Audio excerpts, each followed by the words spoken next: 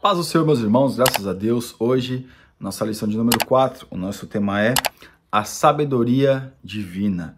É, nessa lição nós vamos ver, meus irmãos, entender qual que é a sabedoria divina que nós podemos exercer aqui na Terra. Mas eu sou jovem, eu sou novo ainda. Você pode, nós podemos sim exercer a sabedoria divina. Mas de que forma? Quando nós realmente nos colocarmos na presença de Deus e formos pessoas maduras mesmo com pouca experiência adquirida na vida ou ao longo da pouca existência, nós podemos sim ser pessoas maduras, ser pessoas que coloca é, a sabedoria é, em ordem, que coloca a sabedoria em prática, melhor dizendo, que coloca a sabedoria em prática no seu dia a dia, para não fazer algo que não seja da vontade de Deus e saiba sair de situações que às vezes a gente acaba nos, nos colocando ou por acidente sendo colocados. Amém? No nosso texto do dia que está em 1 Coríntios capítulo 1, versículo 21, diz assim: Visto como na sabedoria de Deus o mundo não conheceu a Deus pela sua sabedoria, aprove a Deus salvar os crentes pela loucura da pregação. Irmãos, qual que é a sabedoria divina que nós temos? É a loucura o quê? De crer num Cristo crucificado, de crer num Jesus que morreu, mas nós cremos que ele ressuscitou. Infelizmente, é, infelizmente, para muitos isso é loucura, mas para nós isso é sabedoria. É crer num Cristo. Infelizmente, muitos hoje estão deixando essa sabedoria de lado. Estão se apegando a filosofias. Não estou dizendo que não é para estudar, mas as pessoas se apegam muito mais a isso do que as coisas de Deus. Na síntese, na nossa síntese, a mensagem da cruz é loucura para os que não conhecem a Cristo mas é a manifestação do poder e sabedoria de Deus para a salvação de todo aquele que crê. Então, nós, às vezes a gente é chamado de tolo é, pelas pessoas, porque como você pode acreditar em Jesus, né? Ah, eu creio, eu até acredito em Jesus, mas não dessa forma. Não, meus irmãos, não é só acreditar, nós não apenas acreditamos em Jesus, nós vivemos é, Jesus na nossa vida. Nós apenas acreditamos, nós cremos em Jesus, vivemos aquilo que ele determinou para nós. Com muita dificuldade, sim, mas nós estamos buscando cada vez mais agradá-lo, estamos na sua presença.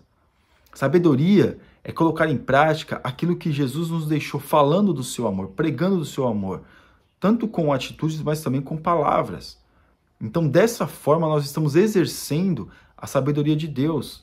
Porque aqui, ó, no nosso texto bíblico, é, que está em 1 Coríntios capítulo 1, versículo 18 ao 25, diz assim, Porque a palavra da cruz é loucura para os que perecem, mas para nós que somos salvos é o poder de Deus, porque está escrito, Destruirei a sabedoria dos sábios e aniquilarei a inteligência dos inteligentes. Onde está sábio? Onde está o sábio? Onde está o escriba? Onde está o inquiridor deste século? Porventura não tornou Deus loucura a sabedoria deste mundo? Visto como na sabedoria de Deus o mundo não conheceu a Deus pela sua sabedoria. Aprove a Deus salvar os crentes pela loucura da pregação. Porque os judeus pedem sinal e os gregos buscam sabedoria. Então existia essa escola naqueles dias o que? Os gregos buscavam a sabedoria dos filósofos. E os judeus buscavam os sinais para saber quando exatamente Jesus voltaria, ou Jesus viria aparecer. Jesus estava ali, eles estavam ali perguntando sinais. Até os, depois os discípulos, os apóstolos, os discípulos, né? Perguntava acerca do fim do mundo. Mas é muito interessante é, essa questão da sabedoria, por quê? Porque, como eu já disse, meus irmãos, parece que para o mundo, para as pessoas, olha, ele é to... ah, que sabe nada. Aí, meu irmão, ele não conhece nada, olha, ele está acreditando em Jesus. Jesus, meu filho, nós estamos no século XXI, você vai acreditar em Jesus. Oh, que isso? Vai para a igreja, igreja aprender sobre isso. Não, você está brincando. Ah, eu creio, eu tenho Deus no meu coração. É isso que a gente escuta. E para essas pessoas, elas são sábias. Né? É, mas crer num Cristo crucificado, viver é, aquilo que Jesus deixou para nós é tolice. Não é, meus irmãos, não é. Não é tolice. Nós podemos ser fiéis a Deus, nós temos que ser fiéis a Deus. Para nós, é, o ensinamento do Jesus e viver Jesus faz todo sentido. É loucura para essas pessoas, mas para nós é sabedoria, faz todo sentido para nós. É assim que nós temos que entender a nossa introdução. Na lição deste domingo veremos o que Paulo resume em Isaías 29, 14 para mostrar à igreja de Corinto que o pensamento de Deus é contrário ao pensamento deste mundo, sabedoria humana, Somente o Pai pode oferecer a vida eterna à humanidade, coisa que ninguém pode fazer. Eu, eu assisto já pessoas é, tidas como inteligentíssimas, né? Discutindo a obra do autor fulano de tal, Nietzsche, Hegel, é, Spinoza é, e muitos outros, discutindo a obra. Olha, e ali eles fazem como se fosse sabedoria e não sei o que, aquela coisa. E as pessoas olham, nossa, isso sim vale a pena. Será? É muito bom a gente ver o exemplo, assistir, ver o pensamento, ouvir o pensamento, né? Que a pessoa está, está falando naquele momento aquilo que pensa. Porém, meus irmãos, é, como é que nós podemos dizer? É, não vou dizer enganação, mas é muito pobre. É muito, muito pobre, irmãos, de conhecimento. Quando, a gente, quando nós começamos a nos aprofundar acerca de Cristo, acerca dos evangelhos, analisarmos a sua palavra, nós vemos que é uma fonte inesgotável de sabedoria, é uma fonte inesgotável de conhecimento. Então, para eles, claro, é loucura. Falar que crente, ah, crente não pode fazer isso, não pode fazer aquilo, não pode fazer aquilo, não pode não pode. Isso é sabedoria. De se privar das coisas que faz mal. Isso é sabedoria. Então, jovem, saiba que isso é sabedoria. Se privar daquilo que Deus condena, isso sim é sabedoria. Aqui na, no tópico 1, a cruz de Cristo e a sabedoria de Deus, a cruz de Cristo é loucura para o mundo. Irmãos, é loucura. Não pense que se você falar que acredita em Jesus, que vive Jesus, as pessoas vão te aplaudir. Olha, que homem, que mulher, que jovem, oh, que pensa. Não, meus irmãos.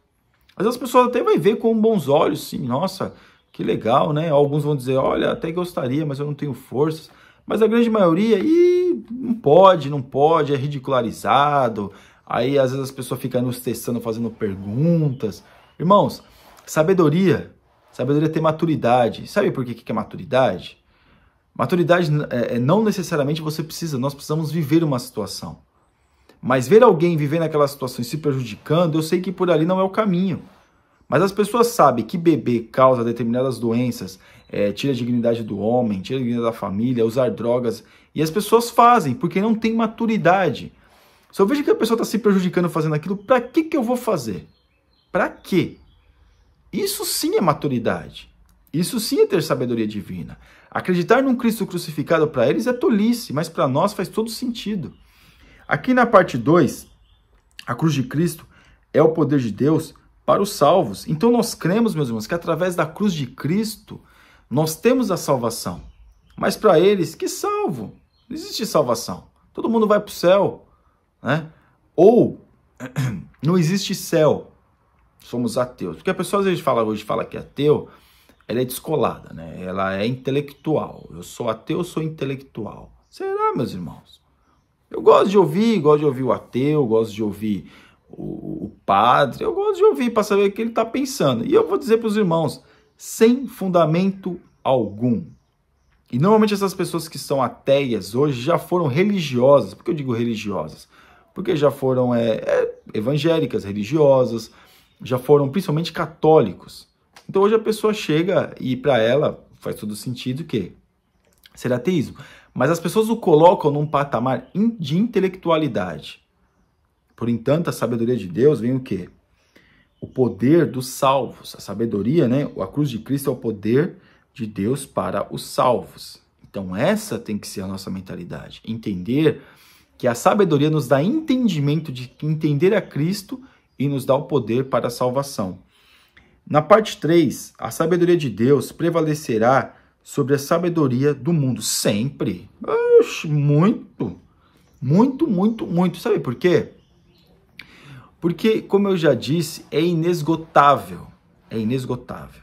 A sabedoria do mundo tem, né, tem suas limitações. Eu estava vendo uma pessoa comentando sobre Friedrich Nietzsche, né, um filósofo, e a pessoa falou: Nossa, se Friedrich estivesse aqui, se Nietzsche estivesse aqui, porque Nietzsche e Nietzsche. Aí o homem era um homem depressivo, um homem que não conseguia se relacionar com as outras pessoas, o homem que teve os seus escritos e praticamente a sua irmã roubou, um homem que, no final da sua vida, foi praticamente para o manicômio, né? para um hospital de doido. Uma pessoa que tinha que ser vigiada, porque teve vários é, é, é, como é que vários impulsos suicidas. E essa pessoa detém da sabedoria, claro, os escritos você pode observar, pode ir até, mas é, entender que ali está a fonte da sabedoria, olha, tem que ser. É, é, essa é a sabedoria do mundo. Essa é a sabedoria. Achar que Richard Dawkins é o detentor da sabedoria porque ele é ateu, isso é sabedoria, irmãos? Isso é sabedoria? Mas, irmão, você está falando, você não conhece. Não, cara, eu não conheço assim, a fundo, como muitos conhecem. Mas tudo aquilo que eu já ouvi, que eu já ouvi muito, hein? Não foi pouco, já ouvi muito. É, me dá a entender, meus irmãos, que isso é bom para a gente desenvolver o nosso raciocínio, até faz parte, não estou dizendo que é de todo ruim. Mas se basear, se fundamentar a sua vida neste tipo de sabedoria, é o que eu estou dizendo. Eu não me fundamento nisso, não. Me fundamento na palavra de Deus, na Bíblia, naquilo que Jesus disse, naquilo que está inserido na Bíblia Sagrada. E, e a nossa, e a nossa, e aquilo que nós entendemos como sabedoria, é, ela sim se sobrepõe sobre o mundo de longe, é claro, mas esse vai dizer, mas essa é a sua opinião, não, meus irmãos, é aquilo que a minha vida é isso. Vamos lá, parte é, tópico 2. A vida eterna e a verdadeira sabedoria vem de Deus. Não podemos ser ob é, obtidas por meio de legalismo religioso. Claro, meus irmãos, não é questão de ser legalista, de ser uma pessoa é, ser extremista, né? Como os fariseus faziam. Eles tinham, conheciam acerca da, da Torá, conheciam acerca dos profetas, conheciam acerca da história de Israel, mas eles aplicavam de maneira errada. Aplicavam para condenar o povo, não para trazer o povo entendimento é, para salvação. Era pessoas, eram pessoas extremistas, né? Então a gente vê que o legalismo é, religioso ele faz mal. Né? Existe sim, tem que ter ordem, decência dentro da casa de Deus, mas não é taxando as pessoas ou achando que só porque eu, eu, eu sou um, um, um mestre que eu sou melhor do que o próximo. Não. O mestre serve muito mais aos seus, seus súditos, né, vamos dizer assim, ou aos seus discípulos, do que provavelmente os discípulos servem ao seu mestre. Parte 2. A verdadeira sabedoria não se revela por determinação humana. Irmãos, por determinação humana, mas ela se revela sim. Pela nossa humanidade, ela pode se revelar porque Deus está usando a nossa humanidade. Mas não é porque eu que determino quando isso vai acontecer ou quando não vai acontecer. Não, quem determina é Deus. Deus nos dá intelecto, porque a pessoa sabe, ela sabe na hora de falar, ela sabe na hora que ela tem que proceder, ela sabe na hora que ela tem que fazer, ela sabe, meus irmãos, ela sabe, é porque ela age com sabedoria. Então ela sabe, ela sabe mais ou menos diversificar as situações. É... Porque aqui vai estar falando, assim, até voltando aqui, vai estar falando acerca dos gregos, né? Que eram filósofos que entendiam da ágora lá, ficavam discutindo acerca de filosofia, uns eram pagos, eram homens muito, muito estudiosos, para cada um defender a sua tese da humanidade. Então, claro, é, a gente vê que isso era uma determinação humana, né? Uma determinação humana. Eles falavam de si mesmos, né? Conversava sobre deuses, é, tinha aquelas novelas, né? Que eles falavam, contavam as histórias no Areópago. Então a gente vê que tudo isso é, acontecia e, claro, uma determinação humana. A gente nunca pode querer determinar se nós somos sábios ou não. A coisa tem que fluir naturalmente. Parte 3. Cristo, a verdadeira sabedoria que garante a vida eterna. Então, através dos ensinos de Jesus, nós temos o entendimento e a sabedoria para entendermos coisas complexas. Quer ver uma coisa? Jesus usa, usa, parábolas do dia a dia.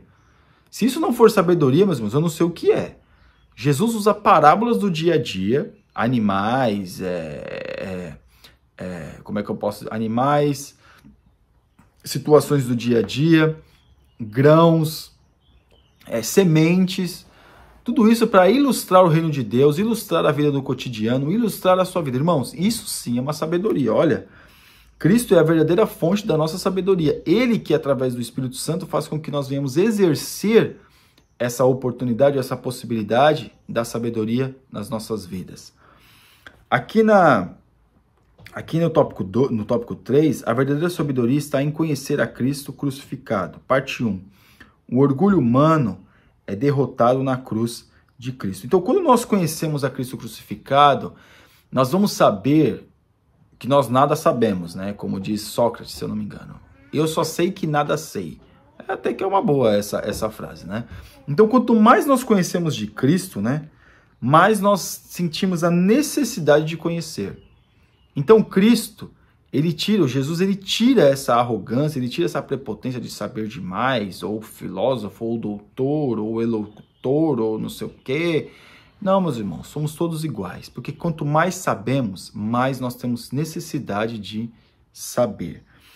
Na parte 2 aqui, o salvo alcança a sabedoria de Deus na cruz de Cristo. Então, de que forma que ele alcança, né? Confiar em si mesmo é gloriar-se diante de Deus. Em contraste, Paulo afirma que Deus escolheu as coisas humildes e desprezíveis que humanamente não são, não têm valor, pois ele não, não olha para a aparência. A experiência da cruz de Cristo ensina a humanidade para é, o cristão. Então nós temos a experiência da cruz de Cristo e nos faz o que? Temos o entendimento de humildade. Sermos humildes. Humildes entendermos aquilo que Deus está nos ensinando. Então, essa tem que ser a nossa mentalidade acerca das coisas de Deus. Então, meus irmãos, nós temos que pensar isso, imaginar isso, porque o que nos traz a salvação, o entendimento de salvação é o que? A cruz de Cristo que nos faz entender que nós somos pecadores, não somos nada e que Deus, que o Senhor Jesus é tudo. Ah, na parte 3, a glória de Deus revelada na cruz de Cristo. Paulo deixa claro que os crentes de Corinto que o homem jamais poderá alcançar a verdadeira sabedoria sem Deus, sem olhar para a cruz de Cristo. Por quê? Porque ela é a fonte da sabedoria, ela é a fonte da humildade, ela é a fonte da maturidade. Por quê? Porque a maturidade nos traz, como eu já falei, acerca daquilo que eu, que aquilo que eu já vi, ouvi e vi fazendo, que não deu certo, e eu já fiz algo que não deu certo, eu não vou fazer outra vez. Então essa nos dá essa maturidade. Então Jesus, a cruz de Cristo, nos dá esse entendimento.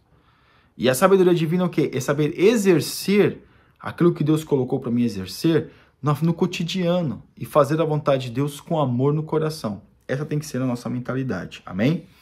E a nossa conclusão. Paulo repudia a arte da retórica e da sabedoria humana em contraste com a loucura da cruz e a sabedoria de Deus. Ele reforça que a mensagem da cruz de Cristo crucificado, que era considerada loucura para os romanos, gregos e judeus, é a medida exata da verdadeira sabedoria divina. Irmãos, é claro, eles desprezavam, hoje mesmo desprezam falar de Jesus, ah, vai falar de Jesus. Para eles, para muitos meus irmãos, é uma questão de a pessoa não tem cultura, a pessoa não é inteligente, a pessoa não é intelectual.